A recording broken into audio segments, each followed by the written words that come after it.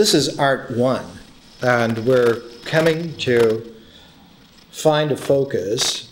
There are two artists that we're going to use, with a third artist placed as a kind of a median in between the two. The two artists are Max Ernst and Wassily Kandinsky, and the third artist that's going to go in between is Georgia O'Keeffe. Now, there's no there's no book on Georgia O'Keeffe that really does it. She supervised a large studio book towards the end of her life, published by uh, Viking Studio Books about 20 years ago. But this video is a beautiful um, presentation of Georgia O'Keeffe, and you can find this around in various rental libraries. I think they even sell it here at the Bodhi Tree. Georgia O'Keeffe will be a kind of a background barometer. She lives up into what we would call current time. She lived to be 90 something, and uh, she lived right up until just recent years. Max Ernst died in 1976 at 85. Kandinsky died in 1944, and uh, he was in his mature years. It would be better to use an artist like Rembrandt rather than Kandinsky, and perhaps in the millennial countdown cycle of this course, I'll use Rembrandt and Max Ernst rather than Kandinsky and Ernst. But we'll use Kandinsky now. I've used him uh, six different times, six different cycles of this. Kandinsky is extremely important. He is the genius behind the development of abstract art in the 20th century. You can look at the development of, say, for instance, an art movement like Cubism. And one says, well, it's Picasso and Braque with Juan Gris. But before them, it's Cezanne. But when you look at Cezanne, you don't see abstraction so much as you see a structuralist insight. In a way, Cezanne is very much like a Claude Levi Strauss in anthropology. He's able to train his sight to see in a visionary way so that Cezanne's visionary sight sees the structural planes that underlie form and so Cubism is rather a very superficial development of something that is profound in Cezanne. But none of that movement is abstract. Whereas Kandinsky is truly abstract. Abstract meaning that Kandinsky leaves nature behind totally in the 1940s, 1950s, the kind of aesthetic language that was used for abstract art is that it was non representational. Whereas this is not true at all. Or sometimes they would say it's non objective, but that's not true at all. A Kandinsky painting is as objective as anyone's painting. It's as representational as any kind of artistic production that one would look for. But what it is, truly, is abstract. And this whole process of abstraction gives to Kandinsky um, one of the rarest places in human development. The only thing to compare with Kandinsky's development of abstraction is the origins of art in Paleolithic times. And in fact, it's going back to the conditions of Paleolithic humanity that Kandinsky was able to go back and reach and touch that kind of lodestone of transfiguration that allowed him to bring out a completely new form the only figure at the time who was really conversant with Kandinsky. He had a very close friend in Paul Klee, and Klee finally came to understand because of his great sympathy and his great art- artistry. But the only intellectual peer that Kandinsky had was the composer Schoenberg. And Schoenberg and Kandinsky wrote letters to each other, which are published. And there's a book out in, in paperback. And it was Schoenberg who understood that Kandinsky's abstraction of color and form out of nature completely was something capable of being done in terms of music. And Schoenberg's 12 tone scale music is the world's first truly abstract music. One little insight behind this Schoenberg and Kandinsky realized that all of the scales of human valuation were arbitrary. The valuation that comes out of the way in which we see or hear or taste, all of the calibrations of sense perception, which become framed in valuation spectrums, are totally arbitrary. They have no basis whatsoever in any kind of concrete reality. It comes as a total shock to someone conscious to realize that the entire development of sentient life in our species is all based upon arbitrariness, chance, habit, conditioning, preference, and non reality. So that Kandinsky and Schoenberg were two of the very first human beings to understand that because all calibration spectrums are arbitrary, one can substitute any particular spectrum as long as it's self consistent for the one in which one traditionally worked. Not only, for instance, is there a 12 tone musical scale like Schoenberg developed, but in actual fact, there are an infinite number of musical scales. There is no limit to the musical scales that are possible in reality. In other words, there is a music for millions and millions of musical scales that has never been heard or written that is totally possible. The discovery of this for Kandinsky, even more than Schoenberg, was like a blast on his psyche it was a complete explosion of what was possible and a total reassessment then of what the person was. A total reassessment of what the mind was, and a complete reassessment of what the body was. So, all objectivity, all of the stages and phases of objectivity in the universe for Kandinsky existence itself as objectified by bodies, the very stuff of things. Existence itself was problematical. Not problematical in terms of some philosophic question which one would ask vis a vis those things, but that the things themselves in their actuality were structurally problematical. You didn't have to ask any kind of philosophic question whatsoever. They were already, in reality, problematical. That is, that existence is an arbitrary, though highly objective, manifestation in the real. This was devastating to Kandinsky. But being somewhat of a giant in terms of acceptance of new conceptions, somewhat of a titan in the way in which he allowed perception to have new possibilities, he was able to absorb that existence was problematical structurally.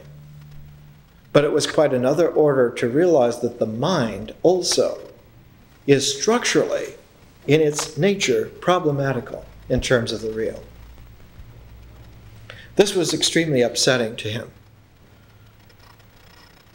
And as he matured as he left his native Russia and went in search of some place where artistically he could implode, he finally found it in the southern Bavarian German city of Munich. And in München, Kandinsky came into contact with a number of artists, Franz Marc among them.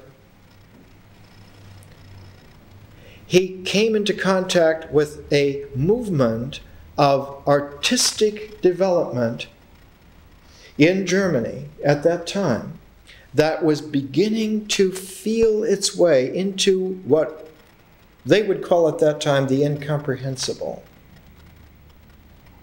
The development in Germany at that time was an art movement that was beginning, and it was called Dada. And the genius of Dada was Max Ernst, our other artist.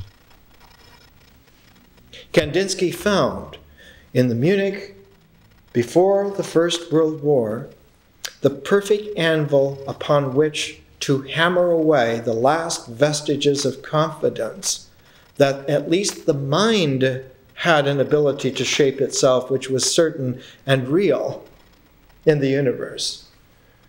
And as he pounded away the last vestiges of what the mind could hold, he discovered a rush of metaphysical joy within himself that was truly incomprehensible. He didn't know what to make out of it. Gabriele Munter, his lady friend who shared his life at the time, records in her paintings that Kandinsky, who had always favored the kind of fairy tale folklore of the peasant Russians, in his iconography. His images were always back to knights on horses and damsels in beautiful flowing gowns and forests of scintillating leaves. And these natural and folklore and fairy tale images slowly disappeared into a rain of splotches of color that looked very much like Seurat's work of an impressionistic version of Seurat.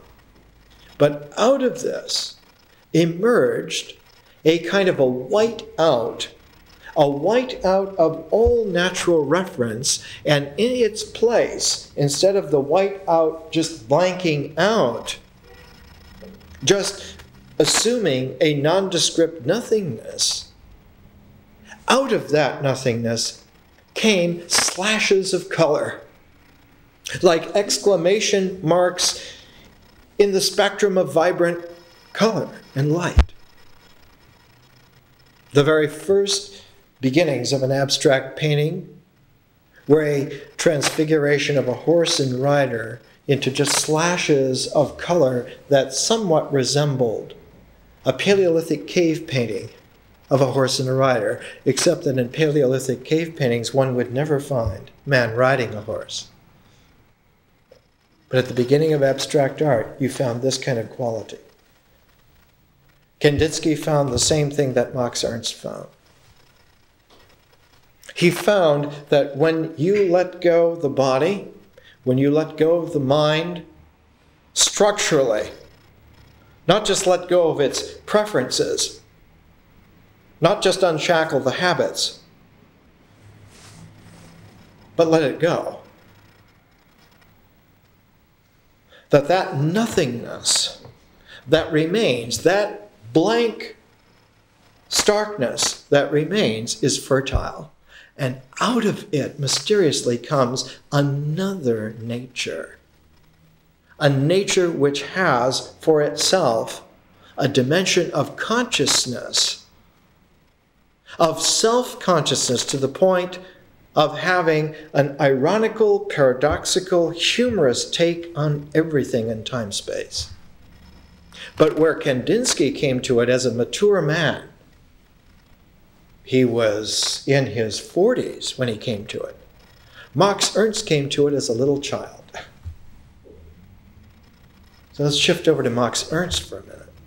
Max Ernst was born in 1891 he said in the chronology of his life that his first works of art were stains on diapers. He's a character.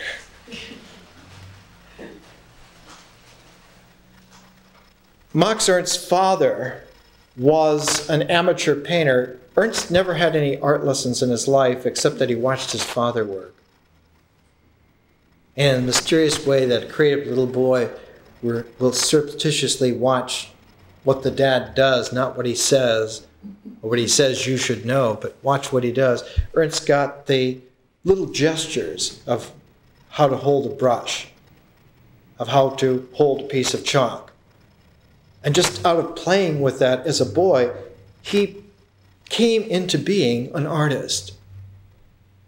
The earliest painting that still survives of Max Ernst, I'll bring a slide next week, is a painting that has large splotches of yellow and green and a kind of a red circle that emerges somewhere near the top of the canvas. Done, I think, when he was still a teenager. That painting presages the archetypal development of Max whole life. All of his 85 years of art are there in that seed. Though he wouldn't understand it, he wouldn't know it for another almost 20 years. But his father was an amateur painter, not a regular painter. The father's job was in teaching the deaf. So that in teaching the deaf, Max Ernst grew up in a household where signing with the hand was like a normal occurrence. And so the hand for Ernst was always magical. The hand conveyed a language which the eye picked up. So that the eye read the hand and bypass the whole habitual syndrome of a spoken language or a written language. Understand this Max Ernst was a wild mystical genius who, as a little boy, lived in an environment where language was not spoken or written, but was signed with hands. So that he grew up understanding there were many ways to communicate that language is protean and doesn't develop at all necessarily on the way in which one says something or in which the one writes something but that the hand and the eye together can bypass entirely the whole mythic and symbolic structure. The person who is deaf who cannot hear does not participate in that classic mythic level of life at all. And because they do not depend fundamentally upon myth, upon spoken language, they do not automatically come to written language, the symbolic.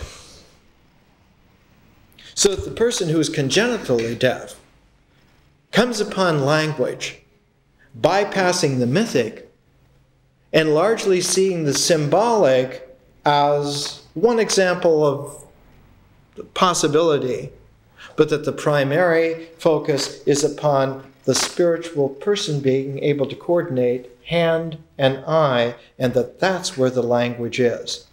That the creative gestalt of the person is where the objectivity of signing language registers. And so Max Ernst, from little tiny boy, already understood, he lived, he was familiar with. That kind of world where the mythic level of spoken experience and the symbolic level of written mentality were dispensable. You could have them if you wanted, you didn't need them. You could go directly to something else. But that something else, that signing of the hands with the eye, that whole process is not yet art. That whole process is what we are calling vision. It's what was traditionally called magic. It's the realm of the supernatural. It's the realm above nature. A spoken language is still natural. Thought symbols are still natural. It's all within the purview of nature. But to coordinate hand and eye, to make a signing language, transcends both those realms and goes directly to the visionary. So Max Ernst, as a little tiny mystical visionary genius, lived in a realm where he could see that the visionary language was always operative. Now, one more thing.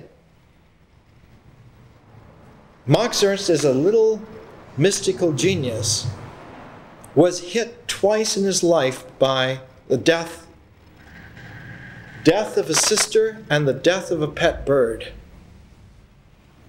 The first time he was 6 years old when his dying older sister Maria gave him one last hug, and in that hug she perished. And the little six year old Max Ernst experienced, he said, true nothingness. His favorite older sister, who had been there exactly poignantly in that moment of hugging him with joy, at the end of the hug was dead and gone forever. She left a hole exactly there where she had been. And for the mystical little boy genius, Max Ernst said later in his autobiography, he said he experienced the blank nothingness that was real. A few years later, his favorite pet bird a kind of a pinkish cockatoo that was a very close friend to him, died. And as that bird died, exactly at that moment, the birth of a new sister was announced from another room. And the little mystical boy, Max Ernst, suddenly had that blank nothingness filled with an exclamation mark of discovery that the soul of the bird had gone and become an another sister. And he said, constantly after that, the confusion of birds and people on the spiritual level was real in him. He was certain of it. Because only something that was totally accurately real could have filled that nothingness that was so poignantly real for him at six years of age. Later in his life, in his mid 30s, during a crisis, Ernst would find the bird which was really him, that came out of himself and declared itself as the true artist that inhabited the man, Max Ernst. He called that bird Loplop. And Loplop became the artistic reality, the objective artistic person who inhabited Max Ernst. And as Max Ernst grew and became his own person, his own artist, instead of displacing Loplop, Lop Lop was forced up into another level of objectivity. As Max Ernst, the man, became his own person, Loplop, the spiritual artist manifestation, was forced into a celestial realm of objectivity and became a part of the cosmos. And so Max Ernst, by the late 1920s, had discovered something which the 20th century is going to always be famous for. That to the extent that our spiritual person is real, to that extent, the cosmos itself is also real. That they're correlative. Uh, T.S. Eliot, uh, in his theory of poetry, called it objective correlative. That the objective correlative of the past was always that your symbols had to be linked to existent things, things that came out of nature that were real. And the symbols of the past were powerful because they were linked correlatively to existence, which was real. But Max Ernst is the flip side of it, totally on the other side. Instead of being in the integral cycle of nature, where existence and symbol are together correlative, Ernst was in the differential consciousness, where the differential forms of open possibility were what were real. Nature, nature's reality and existence and mind were only provisional Whereas the gestalt of the infinite possibility of the objective person, correlative with the gestalt of the infinite possibility of the cosmos, they were correlatively real. They were objective together. And to that extent, Ernst was convinced that man makes the celestial realms real. That their reality is a resonance of our reality and that man is responsible for making the cosmos real. The universe is a gift of nature, but the cosmos is a creative artistry of man.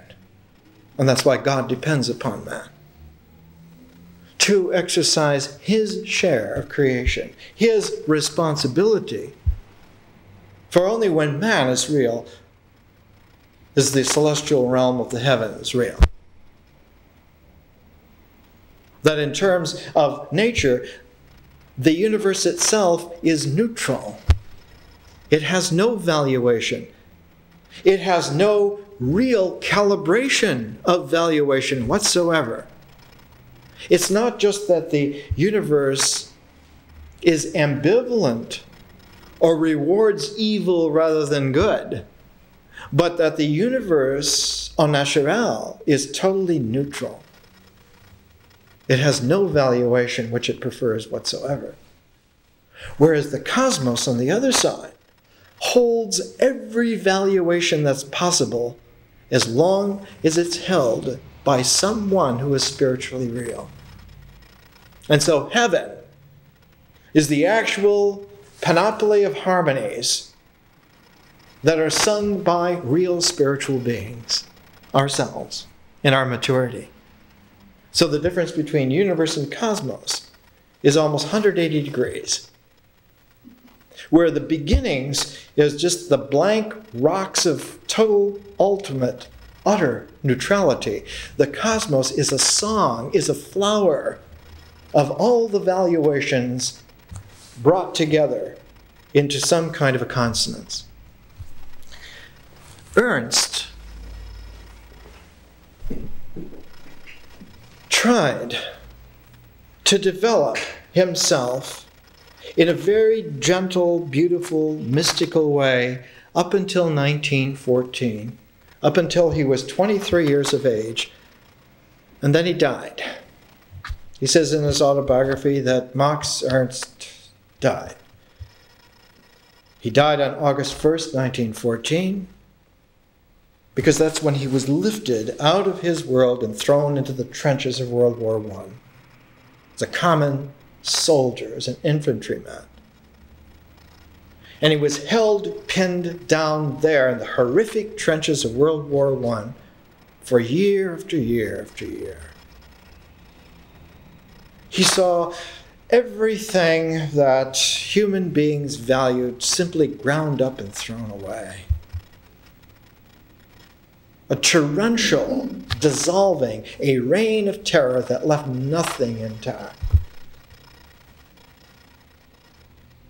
And he wrote that when he and the few who had survived came back from that, when they woke up after being numbed so long by this maniacal death and destruction of young men on both sides, that what came up was not grief or nothingness, but pure anger. An anger against a civilization that would do this to young men by the millions. As he wrote, Of what value was civilization to us? And out of that anger, out of that desperateness, not to find something but to discover other things. Not to find a thing which was already there, but to uncover thingnesses that were not there. And so the whole slant after 1919 was towards creating a completely new world. A new world that could be created because by 1919, the development of the capacity for an abstract humanity was in place, as we began today talking about Kandinsky and Schoenberg. Because by 1919, early 1920, Kandinsky, Schoenberg, Paul Klee already had put into place, not only theoretically, beautifully, intellectually stated, but had put it into a body of art, into music and painting that would never go away, will never go away. It was there, and Ernst was exposed to this. The implosion of Max Ernst, this mystical little boy who had replaced the nothingness with the interchangeableness of his bird and his young new sister, all of this tremendous fire, a fire which at the time, I think one of the musical pieces that you might listen to is um, uh, Trans Figuration of the Night by uh, Schoenberg. It's the last time where one can hear a traditional melodic structure just before Schoenberg's compositions go 12 tone completely. Transfigure, uh, Transfigured Night. The last of Kandinsky's paintings, where one can still see the last vestiges of an integrative nature before he went totally abstract differential one can still see in one of the last paintings a horseman riding, and as he rides, he dissolves into vectors of color, splotches of a spectrum. And Kandinsky writes this kind of language. This is from uh, Concerning the Spiritual in Art.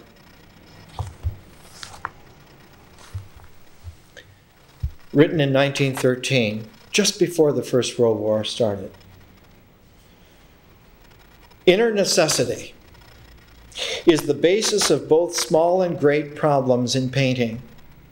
Today, we are seeking the road which is to lead us away from the external to the internal basis. In other words, we're turning our back on the external, on the integrative, on the natural. And we're facing the internal. We're facing the differential, the possible. The spirit, writes Kandinsky, the spirit, like the body, can be strengthened and developed by frequent exercise so they're spiritual exercises. There are calisthenics of the person. What are they? If these exercises are neglected, the spirit grows weak and finally impotent. The spirit, if untended, perishes. The innate feeling of the artist is that biblical talent which must not be buried in the earth. And for this reason, it is necessary for the artist to know the starting point for the exercise of his spirit. On what basis does the spirit stand to begin its exercises to build its strength so that it can mature itself?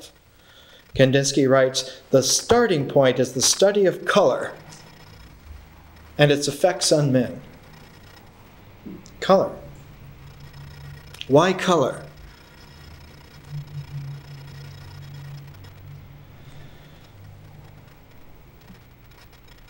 Before the abstract process in art of the 20th century. There was a presage of the abstract process before that, but it appeared only in mathematics. And the figure who was there at the very genesis of the appearance of the abstract for the first time in human history in mathematics was Sir Isaac Newton.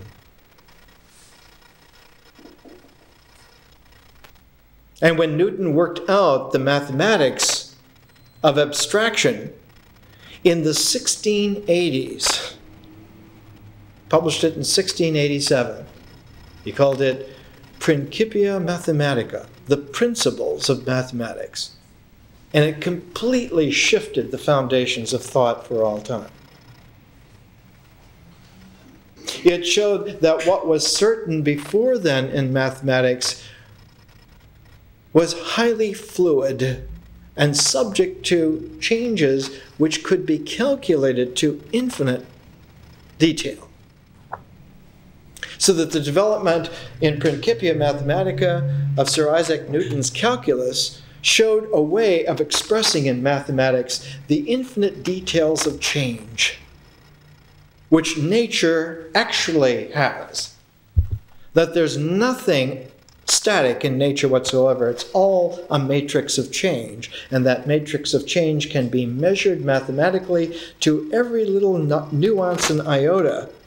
Uh, Newton didn't call it change so much, he used a mathematical term that uh, was in the physics of his time, of the 17th century. He called them fluxions. But what he meant by fluxions was not the chance fluxions that man had always meant when he said nature is full of change, it's always changing. He meant the mathematical formula that objectified exactly what those fluxions were, nanosecond by nanosecond. He developed a mathematical language that could talk precisely and exactly and shift and change as nature shifted and changed and say it exactly to any degree of specificity one wanted. It took a couple of hundred years for that to settle in, for that to come in to 20th century art with Kandinsky and Schoenberg and Max Ernst. So when Newton looked at the mystical fluxions of nature, and saw that consciousness was able to not only follow it in all of its permutations, but that consciousness could look ahead and tell what kind of changes were going to come out of a given direction. That nature is very peculiar. That once a given direction is started, it's always going to follow that trajectory unless interfered with. And that the mathematics that he developed showed that you could predict where it was going to go, and it would go exactly there. You could not only follow all the changes in nature that were happening, but you could follow all the changes that had already happened and also those changes that were to happen, were to come. In other words, man was given a mathematical language to predict exactly how nature was going to work under any given conditions whatsoever. That there was no more mystery whatsoever in nature. And young Newton, like young Max Ernst, was absolutely triumphant when he was able to do this, and then something happened that completely upset him. Like it upset Ernst, like it upset Kandinsky in his 40s. Because out of that blank nothingness that comes once you have it all certain and down and tied. All by itself, the present unwraps and opens up, and something completely different begins to happen. For Newton, it was so mysterious that he devoted the rest of his life, 30 some years, to trying to figure out what happens in the alchemy of theological history. He examined the book of Daniel and the book of the Apocalypse of St. John for the last 30 some years of his life, trying to figure out, to apply his calculus, his mathematics of universal fluxions to the mysteries of the way in which nature moves. Wrote a huge book on Daniel and the Apocalypse. I have a translation in uh, my library. He never figured it out. Too difficult. Someone like Kandinsky, someone like Ernst, in the early 1920s, when they were working with this, they found a clue which Newton did not have. Newton was trying to figure out the mathematics of differential conscious history in terms of looking at the past, in terms of trying to predict the future in terms of a present.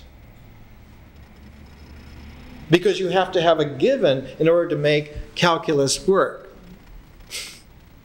You can't predict on the basis of nothing, whereas Ernst and Kandinsky found in the early 20th century that spiritual man doesn't have to have anything to work with. That he can begin just by the activity of his beginningness, and out of this will come whatever he directs, a kind of a creative quality that has a resonance of the divine to it. For Kandinsky, because he was in his 40s, he looked back at the same material that Newton had looked at to see what he had missed. Newton had looked at the occult tradition of the West.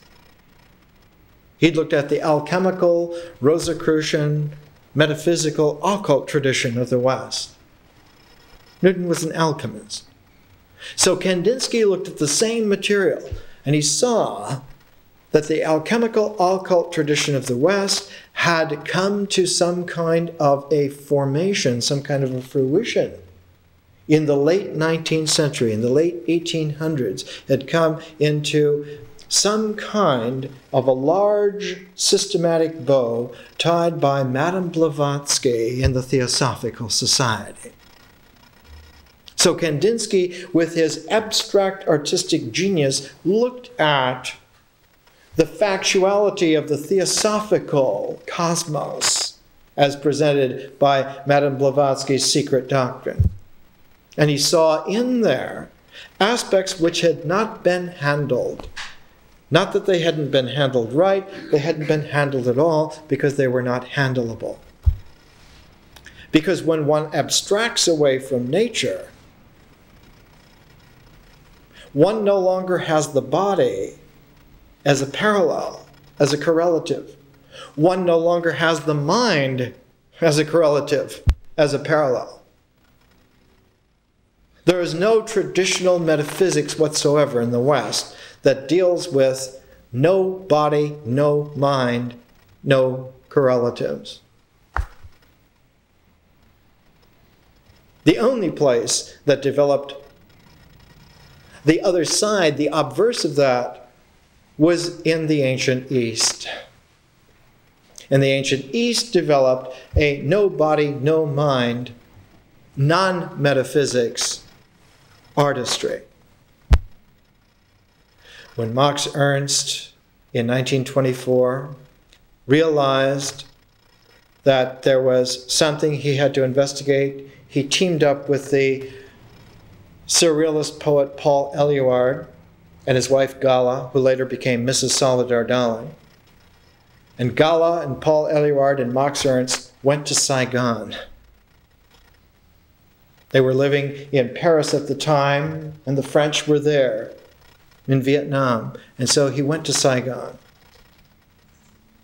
And there tried to search out and to find some way in which he could bring an insight from the East into play, into this artistic development. And when he came back, for several months, he lay fallow, and then he was laying in his bed one August afternoon, 1925, and suddenly he remembered something as a little boy He remembered something from the time in between the nothingness of the death of one of his sisters and the rise of the spirit of the bird and the birth of another sister, that in those years he had often stared at the wood that was there in his bedroom the wood with the burls and the knots and the grains of wood. And suddenly he looked and he saw the same kind of burls and grains in his room, and in them he began to see something completely new, not associative in terms of the body or the mind, but something that was only discoverable by his activity of playing with it that he had to become a creative artist in the moment of playing with it, and only then could he tease out what was there. And so he rushed with paper, plastered it on the grains of wood, and began rubbing, rubbing these forms, making the impress of the forms on the rubbings of the paper, and then putting these rubbings together. And out of this was born the technique known as frottage, frottage, rubbing. And he coupled frottage with a technique that he had been developing in the early 20s called collage, putting various images together to get an ironical, to get a paradoxical, to get a black humor take on life. And by pairing together the techniques of collage and frottage, Ernst discovered a completely new realm of art. And as he did so, one finds the development concomitantly in Kandinsky's work of almost a quantum jump, as they say today, in the capacity for abstract art. When you look at Kandinsky's work about the same time, it's almost as if some great divine wind, sensing that man was ready for new adventures, started to blow upon the possibilities of the world.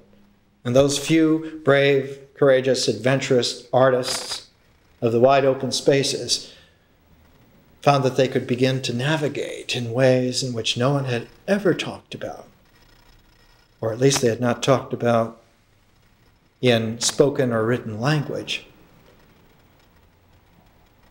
But mankind had talked about it in a way in which the deaf always have signed to each other.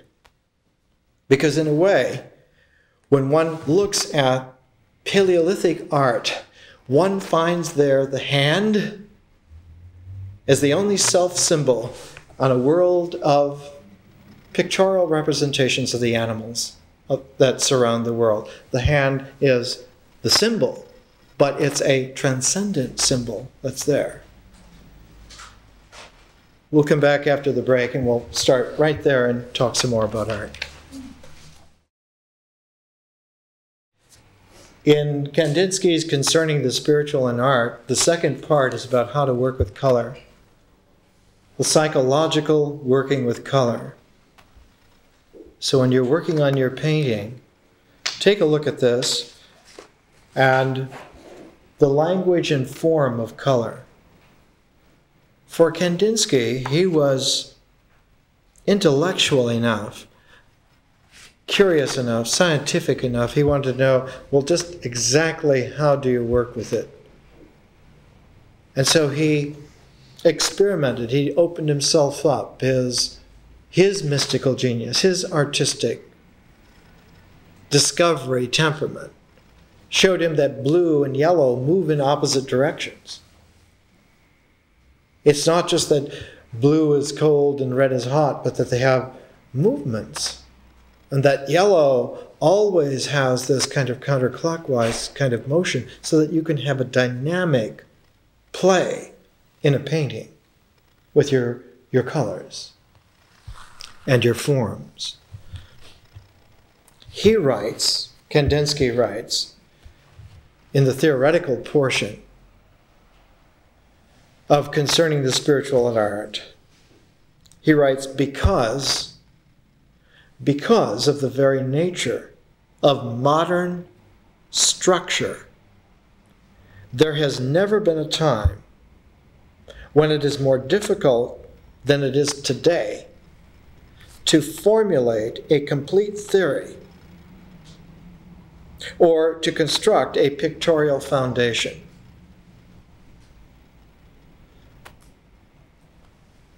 Now, the reason that he's writing this, why he's saying that there never has been a time more difficult than today to formulate a complete theory, has a structural quality to it. He means to say it's not that the content is so difficult, but that the very structure of the mind is no longer there to record in the traditional ways. Try and hear it. The assumed structure of the mind that was operative for thousands of years is no longer there for us. Now, one says, well, how can this be?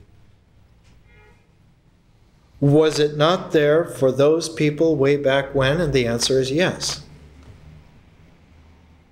So then the follow up question is well, if it was there for them, how can it not be there for us? Isn't the mind the mind?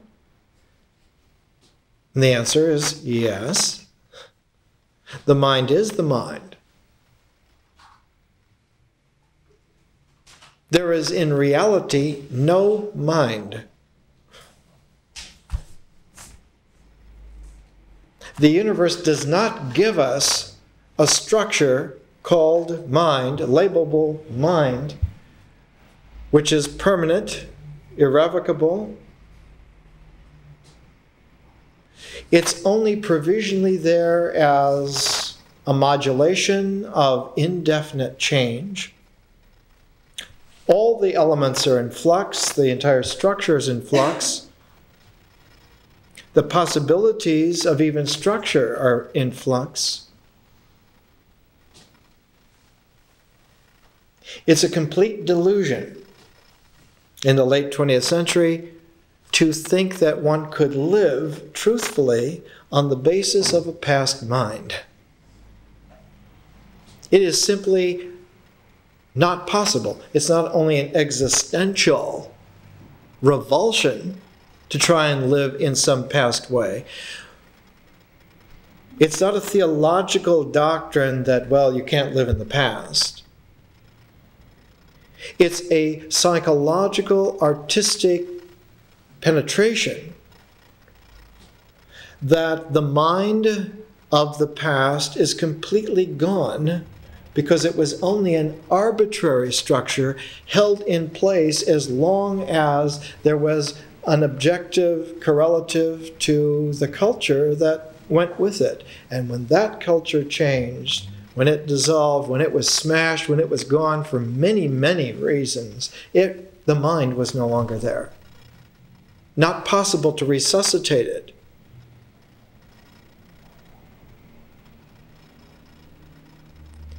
If someone invites you to a fine home and sits you in French salon chairs and has a harpsichord of the period, and someone plays you a nice little Mozart uh, piece on the harpsichord, for that duration you can live in the 18th century. And as soon as the last note is sounded, that's it. You're in 1997 plus. And where is that? Where is the mind of 1997 plus? It wasn't there in the 1790s of Mozart. It wasn't even there in 1996. It's not going to be there in 1998. It's only here at this particular date in 1997 because we're here and operative with it. After that, everything has changed. The penetration of the truth is that space and time are interdimensional with consciousness. And as soon as consciousness is strong enough to be brought into play as a dimension, time and space modify themselves to include that conscious dimension. There's no way around it. One can distract oneself from this actuality But the distractions are only operative as long as you continue to force them. And even then, they tire very quickly. It's what Newton found out mathematically. You can characterize the real to any degree of specificity you want, and it is always evanescent, mystical, and in change. Its there-ness is never simply and finally there, and that's it. Its there-ness is always sliding, even in time space dimensions, much less a five dimensional conscious time space continuum. So that artists like Ernst and Kandinsky are not bearers of esoteric tidings for just a few. They're people who have put their finger on a locus where supposedly someone had tied knots for all time and they're not there. They were only there for the split second when they were tied, and they were not there a split second later. And that it was a total delusion to assume that they had had any permanency whatsoever. So, in the time just after the First World War, in seeking to try to find what kind of a language can one use anyway, there was a French philosopher named Henri Bergson who wrote a book called Creative Evolution. He said, You want to talk about the challenge of Darwin's evolution? How about this challenge, the challenge of creative evolution? Of the way in which conscious time space flows and is fluid permanently. Yes, it is filled with an energy. It's filled with an energy, he called it an elan. That elan is certainly real and certainly operative. But that elan never is, its quality is always emergent. So that in order to characterize it, he used a term which translates as stream of consciousness. One has to look at this stream of consciousness, and one can't just look at it, one has to participate in that stream of consciousness. If you're not whitewater rafting on the stream of consciousness, you're on the banks of delusion. You're watching people who are really living going by, and they're going by at the speed of light. But if you're on that stream of consciousness and you're whitewater rafting, every present moment as it moves continues its reality. Now, in order for someone to, to speak Bergsonese, Marcel Proust did it the best of all. A la recherche de temps perdu, remembrance of things past. A huge seven part novel. And once you start reading it, even in the Scott Moncrieff English translation, it absorbs you. You read Proust for one page and you look up and you see Proustianly. You see out of Proust's eyes. You see the way in which Proust's inner vision sees. If you read the whole thing, a couple of times, you would get it that through Proustian vision, the world of staticness is a complete delusion. And people who assume that you can just move props of static isness around and be safe are fooling themselves to the point of madness. They are crazy. It's an insanity. Where sanity and life are, are whitewater rafting in the stream of consciousness. And that's the only place to be. Now, someone like Ernst, when he came back from Saigon, when he got into the whole discovery that one not only could paint and put juxtaposition of strange images together, so that you had a kind of a Dada type thing. The early Dada was always photographs. And on the photographs, various other objects that would be cut out, say, from a magazine or painted on to the photograph. So that you built up this layer, a disparate juxtaposed images, and then you took a final photograph of that so that it gave you a single um, frame, single two-dimensional frame.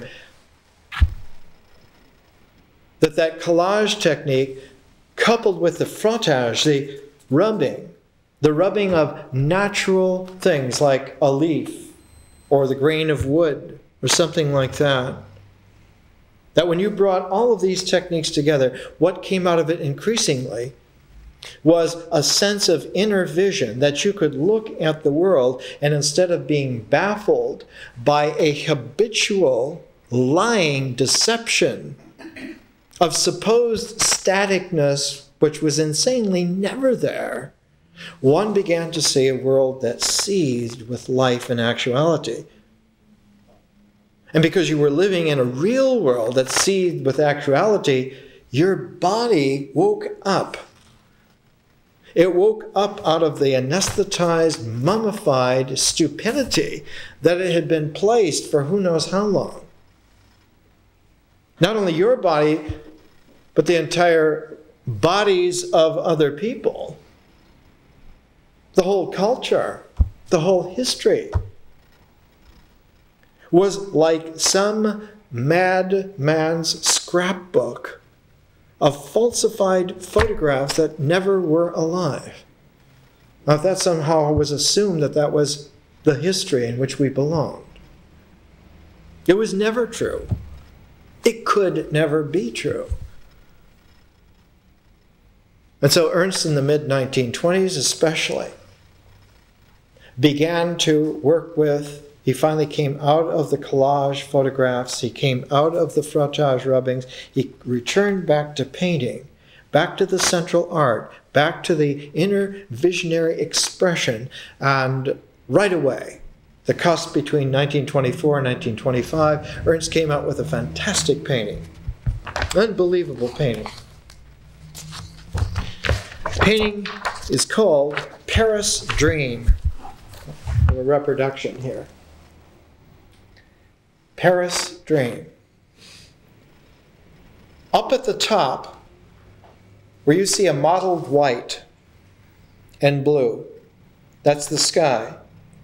There is a tropical blue underneath the mottled white layer of paint clouds. And he's taken an iron comb and he has scraped away two thirds of a circle, leaving one third of a circle underneath, which is completely white, like some kind of negative imprint of a pyramid. And that negative uh, imprint of a pyramid that's left gratis of not scraping it away completely frames and exactly frames a series of esoteric domiciles where man can live in a different way domiciles whose rounded towers look like a musical scale of nine notes.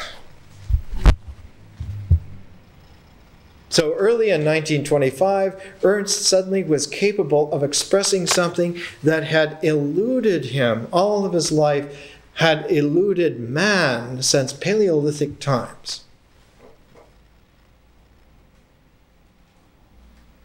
In Paleolithic times, the hunters had magically put their hand on the tapestry of the animals that made the real world in which they could live.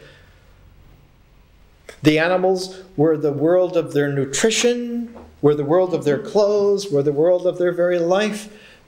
And by putting the tapestry of all these animals there, on the secret place of the earth, in the cave underneath, and then by wetting the hand with their colored breath. That's how you get an impress of a hand on the wall. You do it that way, or you put the hand and then you blow, you spit the color over the hand and take it away, and it leaves a negative imprint of the hand. You have two different ways of putting the hand. You have the positive way and you have the negative way. Both ways are okay for Paleolithic man because Paleolithic men and women had to be real to survive. They lived in a very precarious world. But there's never been a world more precarious than the late 20th century. Because our precariousness is not because there are beasts that are going to gobble us up, but because there are deceptions that pretend to such a degree of accuracy that we go down mad, insane, static ways to dead ends all the time. And the only way to live is to learn to not do that. Don't go that way. Because the world of deception is so complete now that it's like a tar baby. And as soon as you engage it anyway, by hitting at it or by ignoring it, it pulls you in both ways and incorporates you into this dead end. That the precariousness of our times is on this kind of a scale. And the only way to live the 21st century is to be real.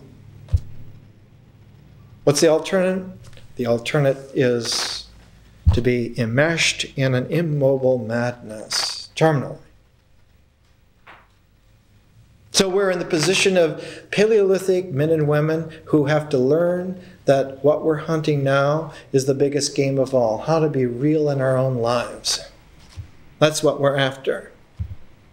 We need that to live. That's our nutrition. That's our clothing, our source of clothing. It's the only way in which we can live. For Ernst, three years before, he did Paris Dreams, which has this beautiful self symbol in the sky above the city three years before that, he had done a painting came completely out of the despair, and he called it North Pole.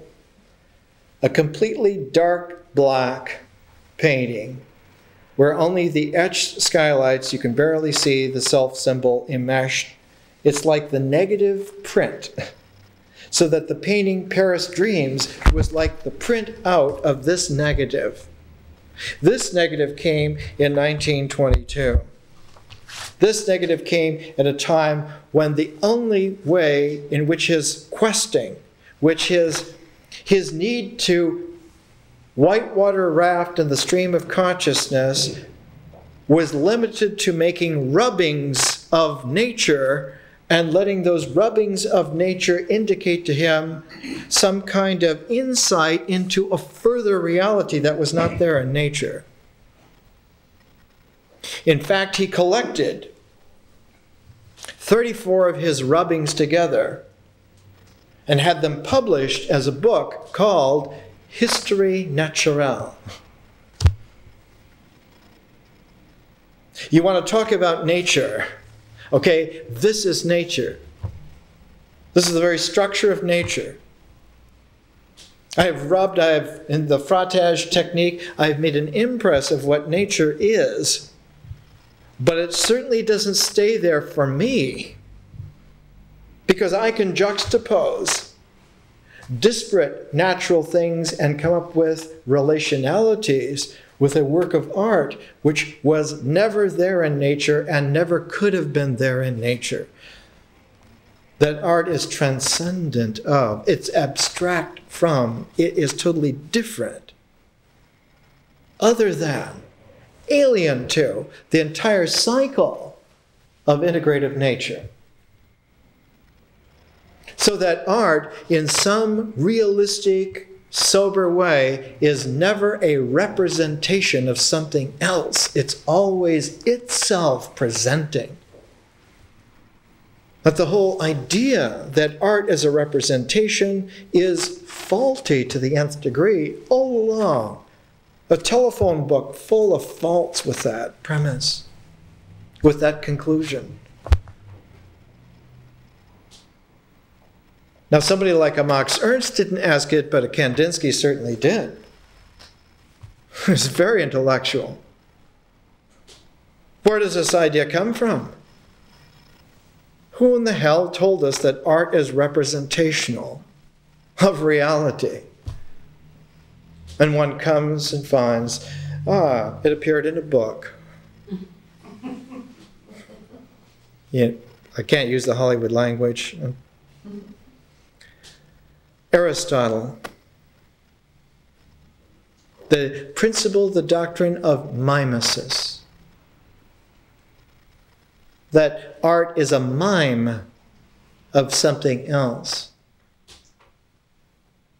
Whereas this is not true at all, because if you look at Plato, nowhere does he have that mimetic quality. In Pythagoras, there's a respect for the mystical instantness that really is there for the art. But in Aristotle, one finds this, this captivating, almost this hypnotic sway that somehow art is a representation of something which is there in nature and is real in nature.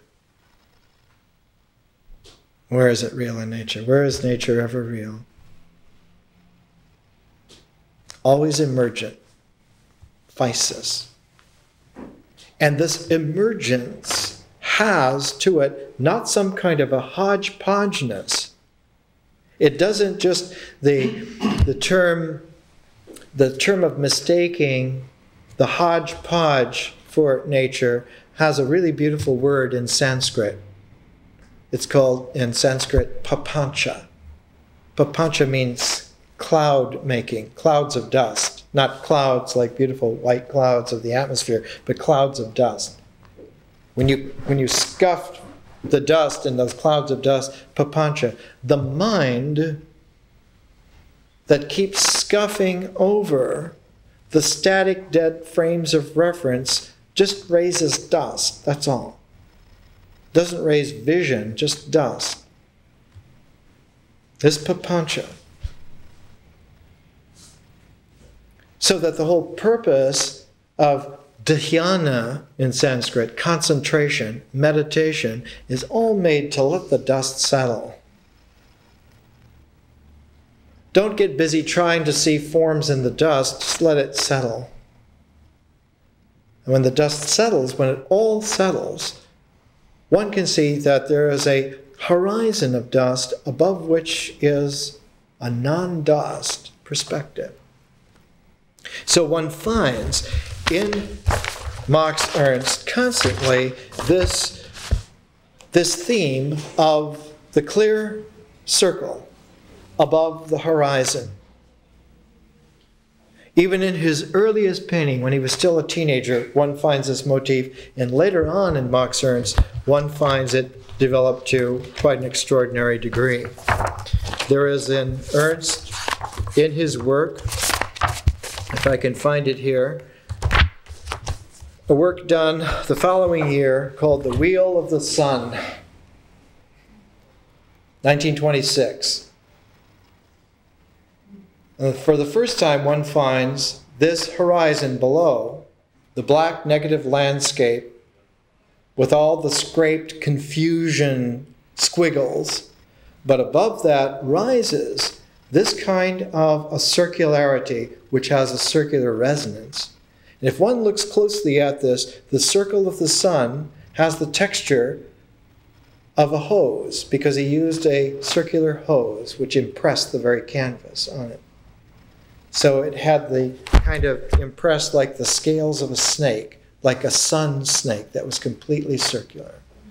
So by 1926, the wheel of the sun was able to present something which, when one looks at this, even in a photograph, when one looks at this work in its actuality, it's like looking at a Paleolithic work of art. It evokes on such a fundamental level that even the rocks are surprised at what is disclosed. The earth itself is shocked at what is true about its fundamental nature.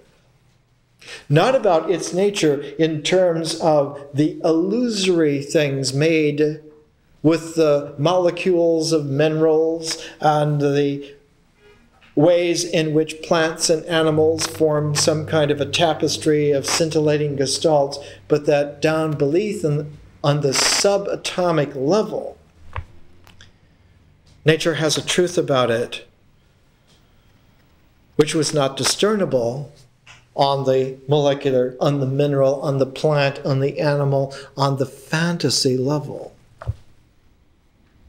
That all of that was certainly true as long as it happened, but it was not permanently, ultimately true.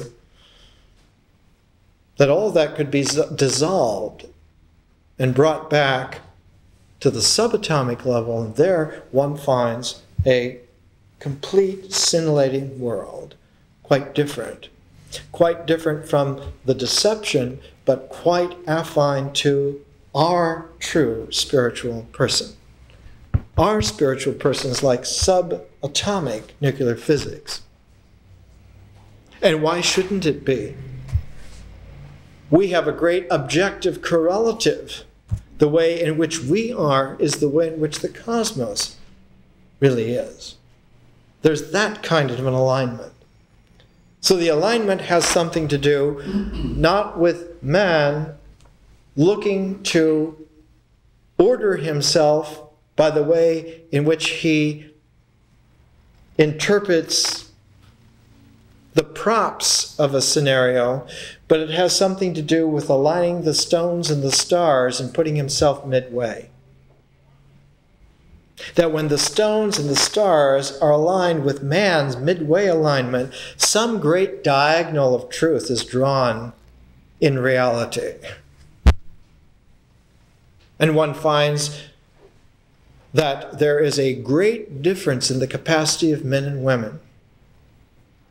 Only a few men and women were wise as long as they put their transformational art in the caves under the earth.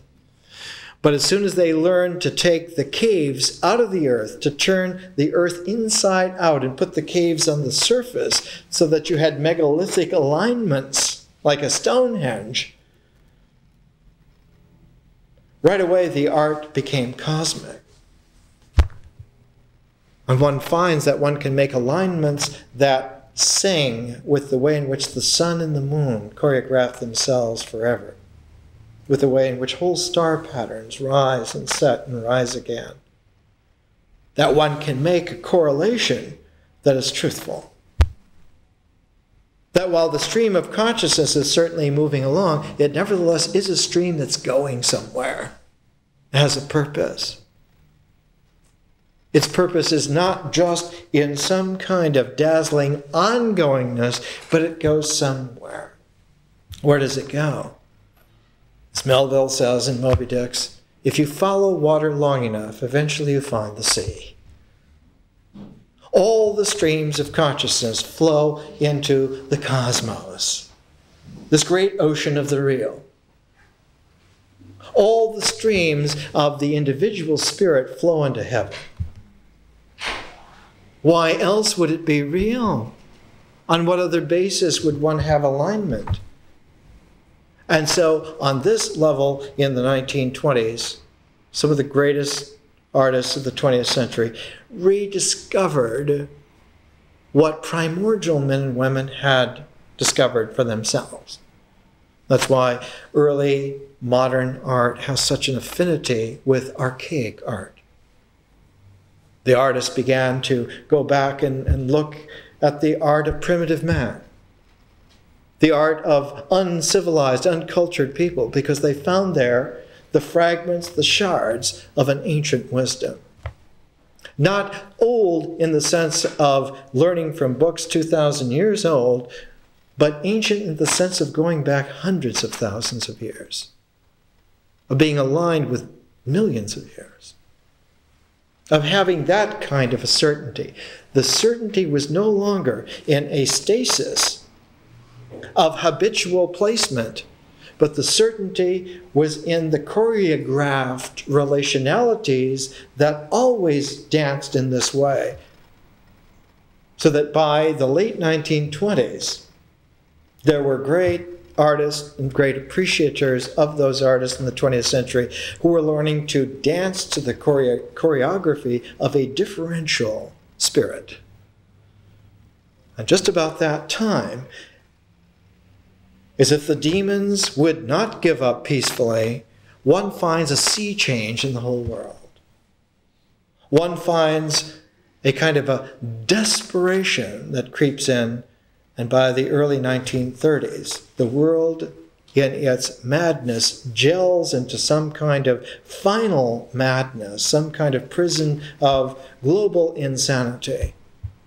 And out of this, Max Ernst, for the very first time, begins finding in his paintings, instead of a concern with the circles in the sky and the landscape horizons that had become great, interesting forests, the forest become a jungle which consumes the self symbol in the sky, pulls it down till one begins to find kinds of paintings.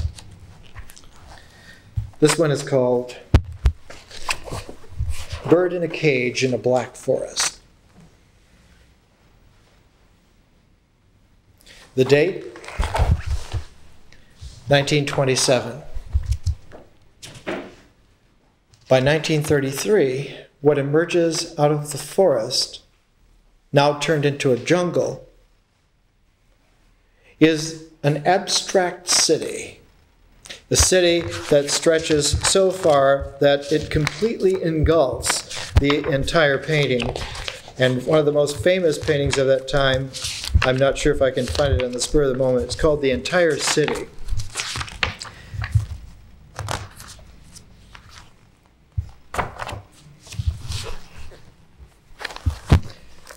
Nineteen thirty-five. The entire city.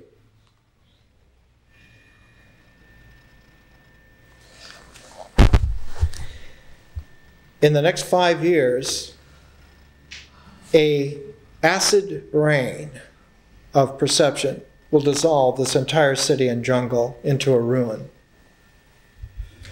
And Ernst's great apocalyptic painting of 1940 is entitled Europe After the Rain.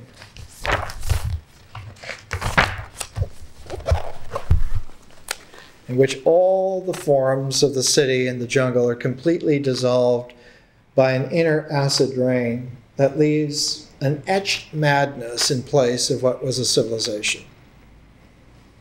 It was at this period, it was at this time, it was for this discovery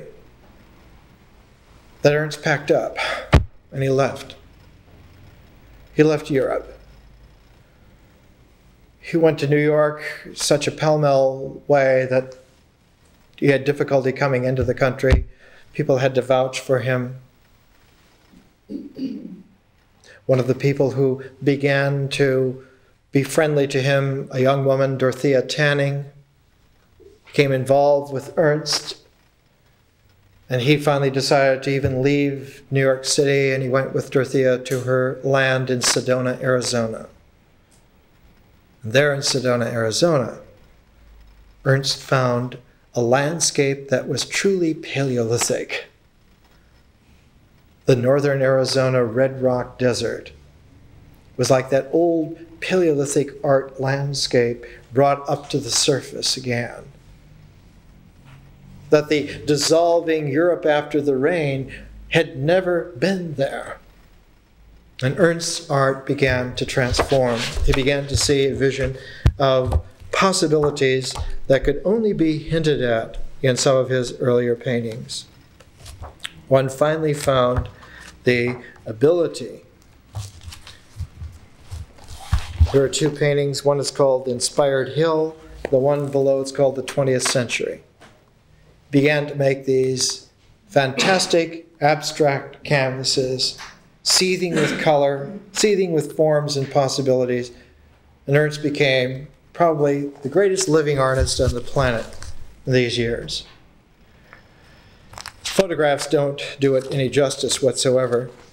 He completely changed the way in which modern art was conceivable. I'll try to bring some slides next week, or if we don't get a chance to show them here when we take our sculptures up to our house, we'll show some slides there of Ernst's late works.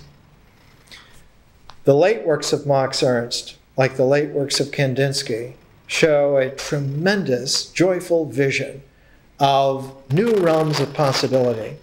That as the stream of consciousness of individual spirits join, just as in nature, where the streams join one finds eventually mighty rivers, in the transcendental realm of differential conscious time space, when individual streams of consciousness join together, one finds whole rivers of consciousness of community.